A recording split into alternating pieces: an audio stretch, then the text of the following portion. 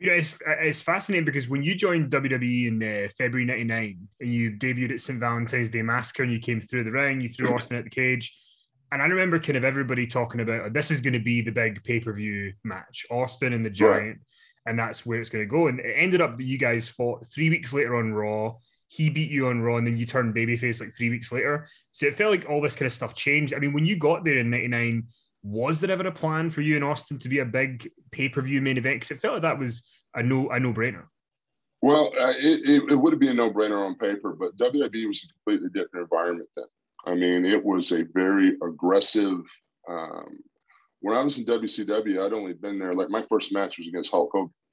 So I had three years experience of pretty much working with guys like Flair and Arn and Sting and Luger and Savage and and all these great guys that I was like everybody's kid brother, you mm-hmm. know. So they looked out for me, and I did this, and I just basically did what I was told. When I got to WWE and got in the ring, um, it was a much different environment. You had to fight and claw. Guys were very protective over their characters. They're very protective over the business, um, and it was the Attitude Era, and there was the wars and Monday Night Wars. All that was going on and you know let's call you know a spade a spade and, and put the truth where it is. I didn't have the um, i didn't have the skills to run like that when i first got there. It was all new to me. I really didn't. I didn't understand how wwe business. I didn't understand uh, character psychology that well. I mean i'm still pretty green three years in the business.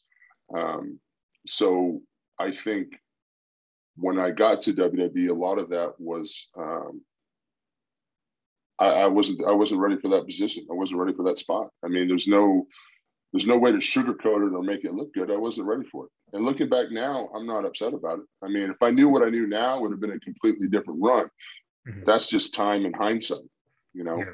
Um, I had to go through those experiences. I had to, you know, get the ass chewings from Undertaker and, and uh, develop the relationships that I developed with Stone Cold and Triple H and all these guys where we worked hard to to make me a better in-ring talent.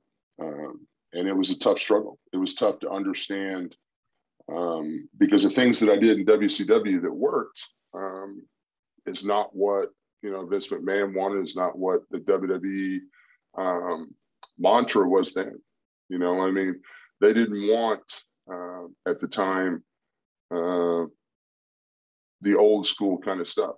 You know, they didn't. You know, they wanted something progressive. They wanted they wanted matches with that were super competitive, you know. And a guy like Stone Cold Steve Austin, who was the number one guy in the company, who was, you know, uh, filling the seats like he was filling them, he's not going to bring himself down to bring someone else up. You have to step up to his level to get it. And it took me a couple years to where I could get up to Steve's level.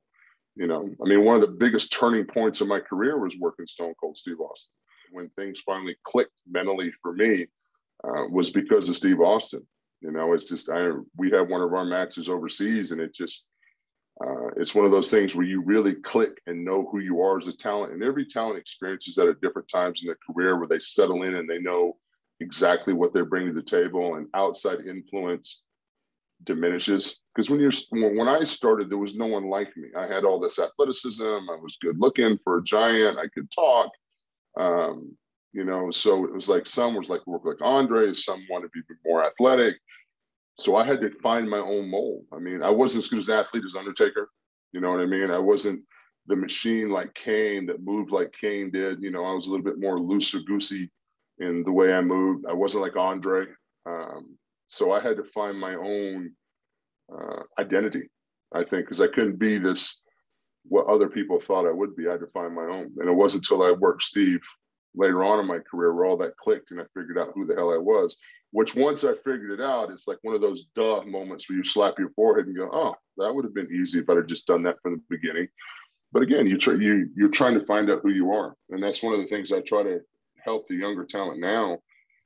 Um, is to be authentic and find out who they are. Because guys, oh, be a giant. Be a, well, what in the f does that mean? Be a giant. What does that mean? No sell, then everybody gets pissed off because I'm not selling their stuff. I mean, what does that mean? What does that mean? Mm-hmm. You know, as you get a little bit of experience and find out your identity and come from a more authentic place, it's it's a lot easier to understand.